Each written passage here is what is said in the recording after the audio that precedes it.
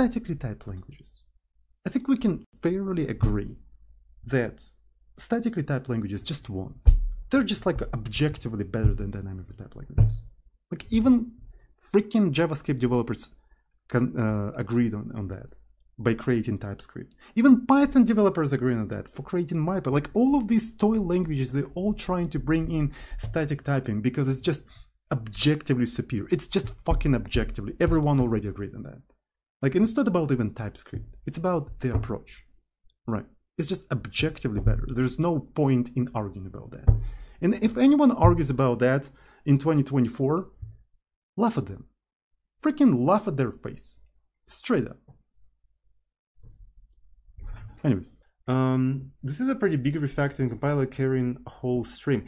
Exactly, right. So um, this is why statically typed languages are just objectively superior than dynamically typed languages. Because I cannot imagine how would you do something like that in a dynamically typed language? Unless you have some sort of a very smart IDE but in that regard IDE is just fixing a broken stupid language.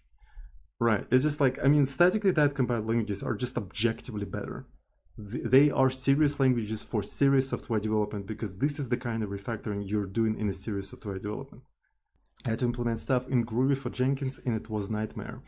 I can understand that. I can actually see that. Uh, I worked with dynamic languages. It's, always fucking nightmare, um, especially if you need to do big refactoring. So you still kind of can do this style of refactoring in dynamic languages, but you need to force the execution to go through all of the paths where you need to do the refactoring.